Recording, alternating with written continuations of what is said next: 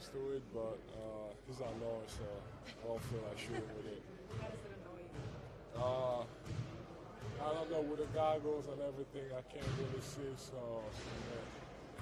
besides game time, I don't really see the point of wearing it. At this point, do you even still allow this to frustrate you in game in little moments? Um, I try not to, but sometimes it is. But uh, I said before, that's the only way I can be on the court, so I got to do it. Last question, has there been any new updates to the mask or is the same ones from now? Uh, I think they've been trying to find a solution on uh, the fogginess, uh, and then I think that's about it. But it's the same one still? Yeah, so, You give regular updates and ask them when this might be able to come off? uh, well, last time, last thing I remember, I think after the surgery, the doctor said it was going to take six weeks, and when it was going to be uh, fully healed, um, I expect to take it off. So it's been, I think this is the third, fourth week. Uh, so this is the fourth week. So we're gonna see in two weeks um, after uh, scans and stuff to see if it's fully healed. And if it is, uh, I'm taking it off. You, uh, you take a lot have you of. named it? Uh, yeah, the phantom of the process. Joe, what would be the best part about not playing with the mask whenever that happens? Um, a better vision. Uh, make that, uh, make more shots, I guess. Uh, yeah. You, uh, you take a lot of pride in defense. Is that you just said Boston's the best defensive team in the league? Is that a source of motivation going Oh, yeah. this matchup? Oh yeah, it is. Uh, I thought I thought the last uh, last uh, on the 40 games of the season we were up there. So uh, I think uh, going against them is going to be tough. Uh, they're really well coached.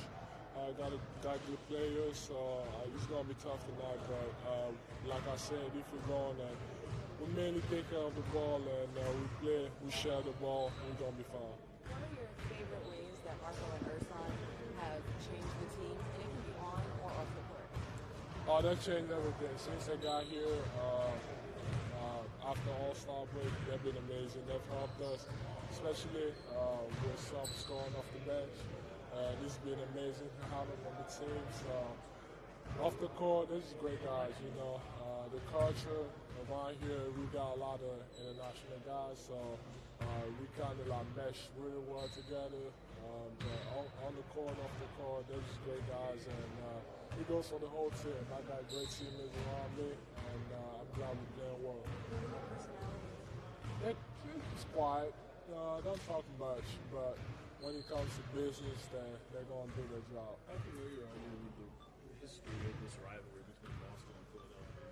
Uh, I kind of the last couple of days uh, since I've been in Philly, kind of learned a lot about it. Uh, but uh, you know they've been going back and forth for I how- like a long time ago. So I think this game is gonna have a lot of meaning. And today before uh, shooter on, uh, we watching a, a video about like the rivalry. Uh, Dr. J had a message. It's gonna be fun. I love, I love this. Uh, just, I mean, it was just kind of explaining the rivalry and uh, how intense it is. Uh, and that these are the type of moments I live for, so I'm excited. Do you uh, do you expect the rivalry to sort of rekindle? Both teams are sort of Boston's very good, and you guys are getting very good. Can you see this, you know, stretching out for a few more years? Oh yeah, definitely. I think uh, when you look at the whole league and you talk about the future of the league, we up there, they're up there, so uh, it's gonna be fun the next couple of years. What was the what was your favorite moments from the video or the history that you've studied?